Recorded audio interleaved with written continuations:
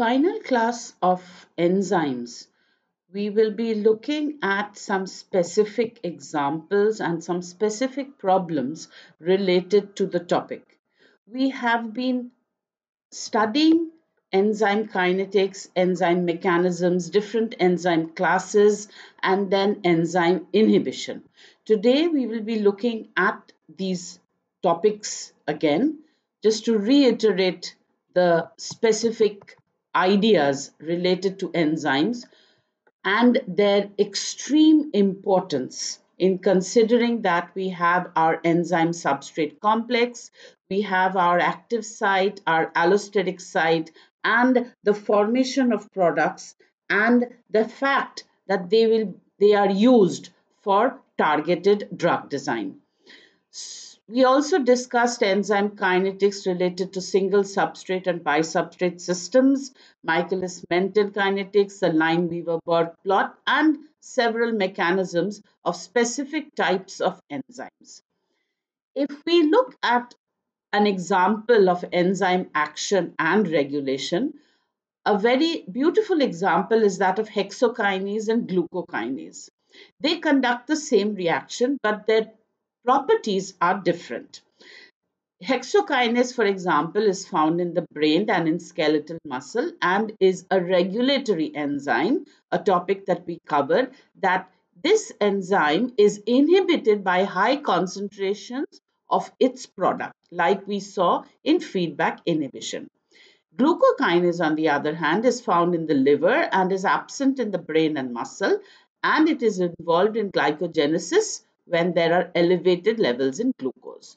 So let us look at the way of their operation to understand how we can look at a specific V0 by S curve, a Michaelis uh, Menten kinetics curve, and see how we can understand the regulation related to levels of glucose. So this is the hexokinase plot and this is the glucokinase plot. This is, as mentioned before, hexokinase is found in the brain and glucokinase in the liver. And the normal blood level concentration is as indicated. We have the two Km values associated with this proteins and hexokinase is found to have a higher affinity for glucose because of its uh, Km value here. Considering that of glucokinase being non-regulatory, this has a lower affinity for glucose, which is also apparent from the enzyme kinetics plot that we can see. Now, the normal blood level concentration falls in between these two levels of Km. Now, when we have normal blood glucose, hexokinase is therefore operating at near Vmax because this is the value and this ensures that the brain gets an ample supply of glucose. However, glucokinase is operating far below its Vmax under these conditions as is apparent from these values here where here is the value of the normal and normal glucose level and that is the Vmax of glucose. However, when the blood glucose level rises then if there is a rise in the blood glucose level, now the concentration of blood glucose level will be this, but hexokinase is already near its Vmax so it cannot speed up as much. However, glucokinase can speed up dramatically, as a result of which the excess blood glucose level will be taken up by the liver and converted to glycogen and fat. However, if the blood glucose falls below normal, hexokinase, if it falls below normal, hexokinase is still operating near its Vmax because it this is where it would be around this region, while glucokinase is essentially inactive. So in this way, a steady supply of glucose is ensured at the brain at the brain in all times. So this is a fascinating way in which levels are controlled by the action of these two very similar enzymes that actually work on the same reaction. If we revisit our topics on enzyme kinetics, we have the steady state approximation idea that the concentration of the intermediate, that is our enzyme substrate complex, remains constant through, during the major part of the reaction. And we have the expression where dEs dt That means this concentration of ES does not change in time. And where can we apply this? This can be applied indicating that the in the intermediate has a rapid decay path to form the enzyme and the product. When we now look at the double reciprocal plot or the Lineweaver-Burk plot, we have the 1 by V0 versus the 1 by S that is our concentration of reciprocal of the concentration of the substrate. We realize from the enzyme Michaelis-Menten normal curve which gives us a curve like this, it was difficult to determine the Vmax value where the V was plotted against the S. It was difficult to determine the Vmax value or the Km value for that matter. So the double reciprocal plot, the Lineweaver-Burk plot is plotted in this case to give us our y-intercept and our x-intercept that gives us the value for the Vmax, the reciprocal of the Vmax and the minus 1 by Km value. So we also discussed the turnover number as to how efficient the enzyme is and this is the number of substrate molecules that are converted to product in a given unit of time on a single enzyme molecule when the enzyme is saturated with the substrate. So in the Michaelis-Menten equation, we have Kcat which is Vmax divided by the total enzyme concentration, considering that the substrate is has occupied all active sites on the enzyme available to it. So we have an equation where we have the modification of the Michaelis-Menten equation where our Vmax is now replaced by Kcat into Et and we can determine the value of Kcat. So this is a first order rate constant determining where we have our enzyme kinetics or the number of the conversion rather of the substrate to the product. When we looked at several inhibitor models now, we had specific kinetics and specific equilibria associated with the presence of the inhibitors where we looked at constants related to an inhibition constant and then the alpha ki and the alpha ks values and the beta values which we discussed were related related to the types of enzyme inhibition models that we had. So whether it was the enzyme forming the enzyme inhibitor complex or the formation of the ternary complex, it was important to realize how the enzyme could act on the substrate to be converted to its product. So this was the specific kinetics that we looked at in terms of an understanding where we had no inhibitor, a competitive inhibitor that would reach the Vmax that would be expected and the non-competitive inhibitor that could not reach the Vmax because some of the sites of the enzyme were occupied or the allosteric sites were occupied, rendering the enzyme inactive or unable to bind to the substrate. Then if we look at a, a just a Lineweaver-Burk plot of all the types of inhibitors, this is one where we have no inhibitor. The one with the competitive inhibitor would have the same Vmax value. We know that this corresponds to 1 by Vmax and the non-competitive inhibitor would have the same Km value and a non-competitive inhibitor would be parallel to that of the one with no inhibitor. So this summarizes all the plots that are available for the inhibitors and the uninhibited enzyme. Now, if we look at alternate methods to determine these parameters, there are other plots that are available. One is the Eadie-Hofstee plot, where the reaction rate is plotted as a function of the ratio between the rate and the substrate concentration, where we can get an identification of the Km and the Vmax values, which is what our intention is when we look at an enzyme kinetics reaction and the Dixon plot where 1 by V is plotted as a function of the inhibitor concentration and this is generally used to find out the inhibition constant of inhibitors.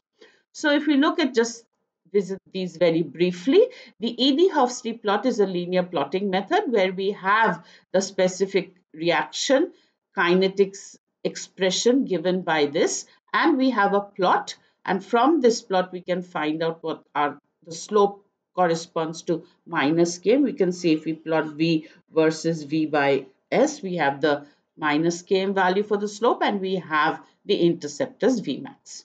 So this gives us an idea about the Eadie-Hofstee plot and a rapid identification of Km and Vmax is possible. In the Dixon plot where we plot the 1 by V versus the function of the inhibitor concentration, we can determine the Ki value by measuring the initial velocity of the reaction as a function of the inhibitor concentration, but we have to have two or more fixed concentrations of the substrate. In this case, we have the initial velocity in the presence of the inhibitor. This is where we can know, use the inhibitor concentration and the Ki value that needs to be determined. So for competitive inhibitors, when we have the initial velocity in the presence of the inhibitor, we have the specific expressions associated with this and the specific plots associated with the Dixon plot that where we have the plot of 1 by V as a function of I for the different substrate concentrations. And the plot is such that the point of intersection actually gives us our Ki value. So we have the two substrate concentrations and we have the Ki value, the minus Ki value given by the point of intersection to determine the Ki value of the competitive inhibitor in this case. This is our Dixon plot. Similarly, we can get a secondary plot of the Ki as a function of the inhibitor concentration and determine an apparent Km value. For the other inhibitor types, for the non-competitive inhibitor types, similar plots can also be made and we know that we have a modification in the, the we have the Ki and we have the alpha Ki value. For this case, there has to be several plots, two secondary plots rather, that must be constructed to determine these values. So the idea is similar where we are looking at uh, the same expressions modified because of the presence of the inhibitors because now we have the specific types of inhibitors and the specific types of kinetic expressions the kinetic parameters that are going to change and the equilibria that are going to change because of the presence of these inhibitors. So while we monitor the inhibitor, the substrate concentration and the inhibitor concentration, we can work around these to find out what the inhibition constants are depending upon the type of inhibitor that we have. So we have the different types of plots where we have 1 by Vmax versus I in this particular case where we can get the value of alpha. Then the slopes of the double reciprocal lines, that is a Lineweaver-Burk plot, can also be plotted and from the x-intercept we can get minus Ki. So an understanding of the enzyme kinetic parameters in terms of the Dixon plot gives us a similar idea, modifications related to the algebraic expressions for the Michaelis-Menten kinetics using the reciprocal forms like we do for the Lineweaver-Burk plot and based on that looking at the specific plots and determining what the x-intercept and the y-intercept can give. So these kinetic examples give us a specific way to determine, to compare different inhibitors from the specific Ki values, the Km values and the Vmax values. We will now look at some, so this is the saturated conditions where we can find again the alpha Ki directly from the x-intercept of a Dixon plot where we looked at in the case of non-competitive inhibition. If we now look at some sample problems related to the topics that have been covered so far, we will be looking at examples where we have the substrate concentration uh, given and the velocities given for different types of examples. So if we have an example where we have the penicillin hydrolysis by penicillinase, the protein that is the beta lactamase, the amount hydrolyzed in one minute in a 10 ml solution that contains this amount of the protein, it was measured as a function of the penicillin concentration, the penicillin being the substrate. So we have the substrate concentration and we have the amount hydrolyzed in one minute that gives us an idea of the extent of the reaction. So the question here is, or the requirements here is, are to plot V0 versus S and again 1 0 versus 1 by V0 versus 1 by S in a Lineweaver-Burk plot for the data and from that to determine the Km and the Vmax values and also from the expressions are from the information given to find out the turnover number.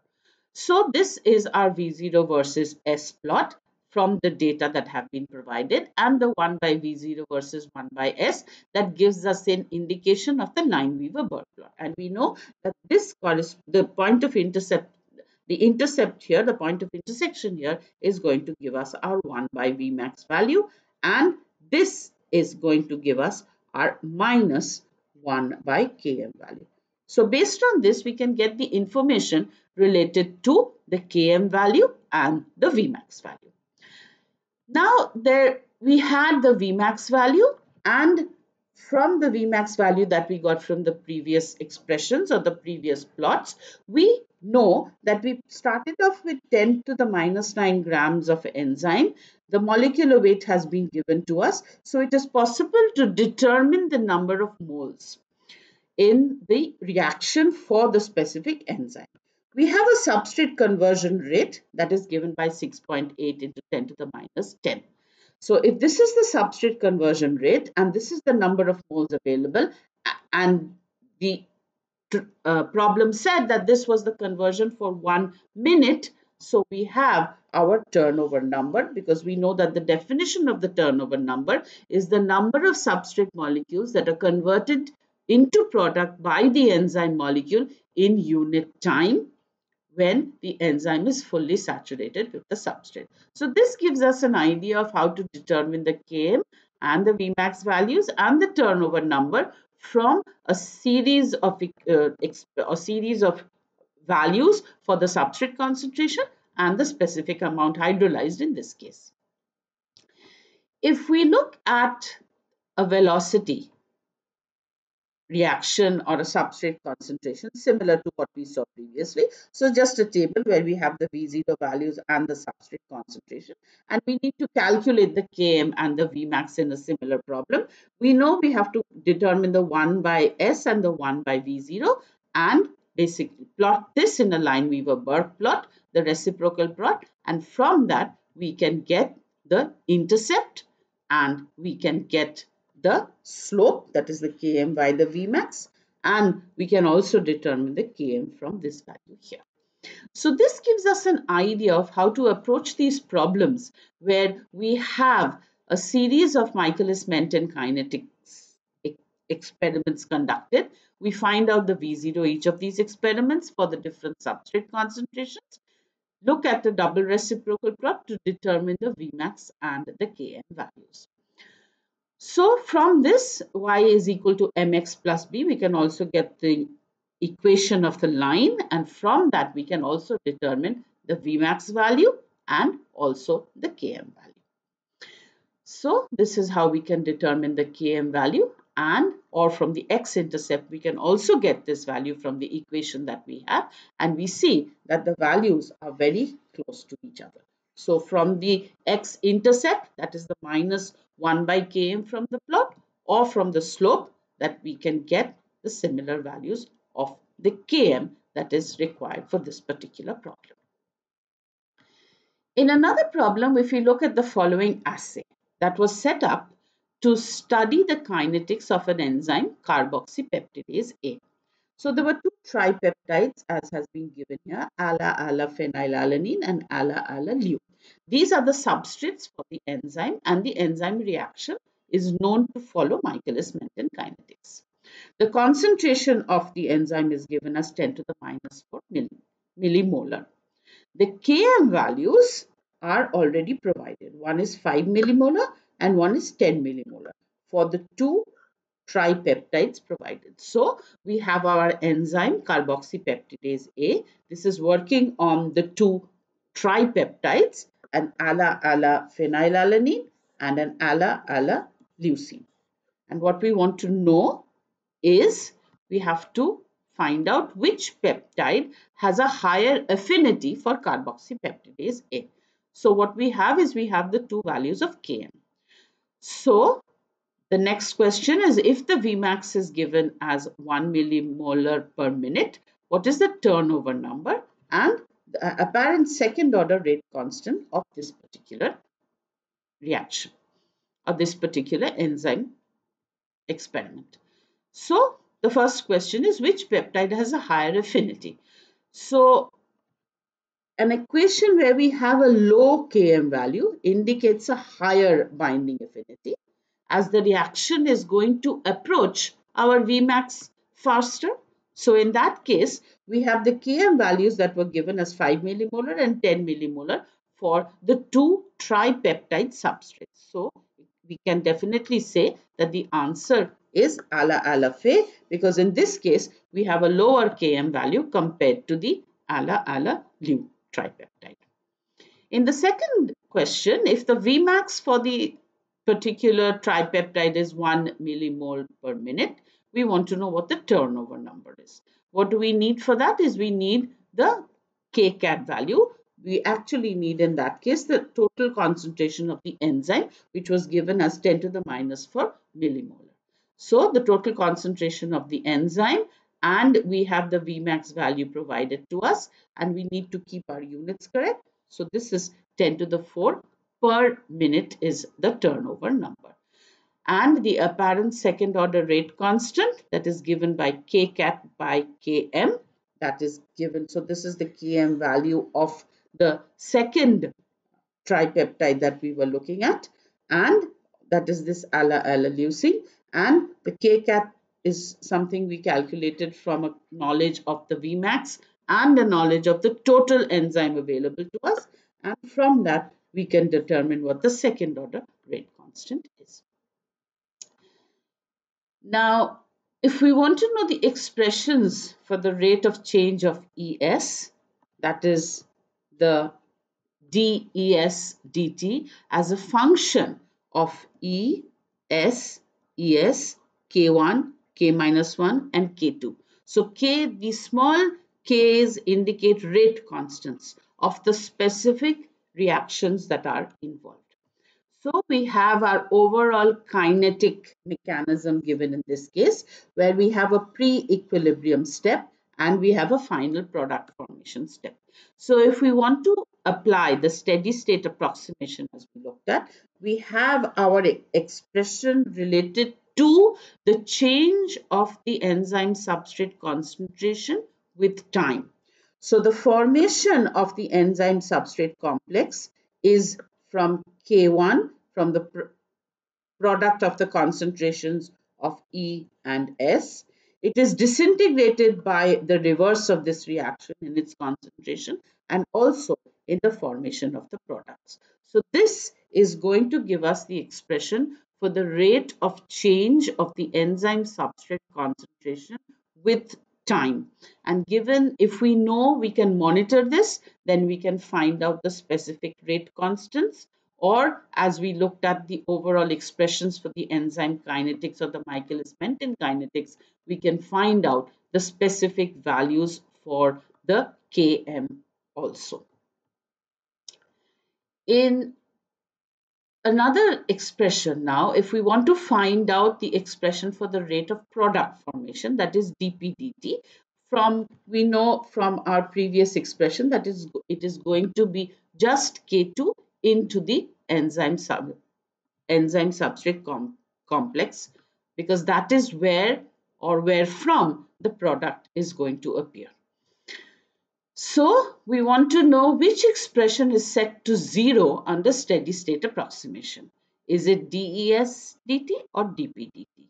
Now we know that the steady state approximation tells us that any intermediate concentration will remain as zero because we want the intermediate formation and the intermediate disintegration has a constant. So the rate of formation is going to be the rate of disintegration. So this is set unto zero under the steady state approximation. If we now look at some enzyme kinetics and inhibition problems, We have the enzyme kinetics for an enzyme E in the presence of 10 millimolar inhibitors A and B and from a plot we have to determine the type of inhibitors that they are and from the plot we can we have to see whether we can determine the Vmax and the Km value for each type. So given that this is our plot, we have on the y-axis the 1 by v0 and the 1 by s on the x-axis and we realize that this is our Lineweaver-Burk plot. And from the type, so we look at the points of intersection here and here and from that we can determine that A is a competitive type, B is a non-competitive type. And given the values of that are given in the y and the x axis, we can determine the value of the Vmax and the K. We look now at a specific example again where we have two inhibitors A and B that have been developed for a specific enzyme. They have been synthesized and tested and we have the data associated with 5 millimolar of A and 0.1 millimolar of B and we have these are the various velocities associated where we do not have any inhibitor. So without the inhibitor, so this is the uninhibited enzyme at the several substrate concentrations that are given in the first column. And the specific kinetics associated with that is the nanomoles per minute for the V for the different inhibitors A and B. So we want to know the values of the Km and the Vmax for the uninhibited enzyme and the types of inhibitors of A and B and the Ki constants in this case as well. And to determine which one is the better inhibitor of the enzyme. So if we plot it for the uninhibited enzyme, the Lineweaver-Burk plot, that is the double reciprocal plot, we can get the slope that gives us the Km by Vmax that is given because we see that this form is y is equal to mx plus c. We get the c here and we get the Vmax value from the expression, the 1 by Vmax. That is our y-intercept here since we know that we have. So we can put x equal to 0 to get the y-intercept. We can put our um, value here. We can put y equal to 0 to get our x-intercept and from that we can get the Km and the Vmax values. Now if we want to plot it in the presence of the inhibitor then we see that with inhibitor A we have a point of intersection that is given here. So we know that it is a competitive inhibitor. Now given the values that we have here we can find that we see that the y-intercept value is the same which means that the Vmax is the same and we have the Km for the uninhibited enzyme that is given in blue. In this case, the point of intersection on the x-axis that is without inhibitor and we can find out the value with inhibitor where we see a modified Km value with the specific inhibitor A in this case. So similarly, if we do it for the inhibitor B, we find out that we have a varying Vmax because but the km is the same. The point of intersection now is on the x-axis. So km without inhibitor is 2.9 millimeter uh, millimolar and k prime m with the inhibitor b is 2.9 millimeter so what do we say? We know that we have a point of intersection on the x-axis indicating that b is a non-competitive inhibitor. Now, if we want to find out the specific values of the Ki, the way to determine that is the information that we need is the Vmax value, the Km for the uninhibited enzyme and the K prime M in the presence of the inhibitor.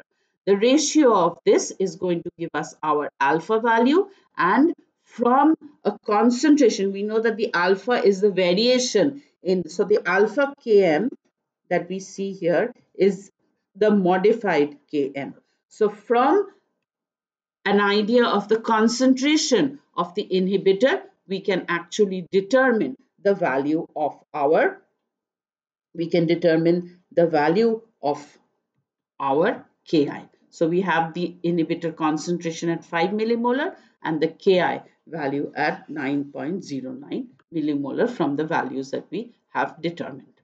Similarly, if you want to find the Ki value of inhibitor B, again we have the Vmax value and the modified Vmax value. In this case, the Km values are the same because we know that B is a non-competitive inhibitor. We get a variation in the alpha values that is going to also give us the 1 plus the concentration of the inhibitor by Ki. So the variation is going to be the alpha because we have a modified Vmax in this case. So the Ki of B is 0.24 millimolar. So now if we look at both the values, we have the KIB value, that's the inhibition, inhibition constant for B, that was less than that. The one was one was 0.24 and the previous one was 9.09. So we see that we have in this case a better inhibitor in case of B because we have a lower inhibition constant, a tighter binding complex. So inhibitor B is the better inhibitor of the enzyme. So in our discussions of enzymes, we have looked at them as catalysts to break specific bonds. They act as we have seen in various manners as cell surface receptors, channel, ion channels, transporters, and for the drug inhibitor design, we can focus on their catalytic mechanism or their structural aspects and determine substrate or structure based inhibitors, transition state inhibitors as we look at enzyme targeted drugs for the development of specific inhibitors for enzymes. This is the end of module 7 that dealt with enzymes, enzyme mechanisms, enzyme kinetics and enzyme inhibition. These are the references that we have followed.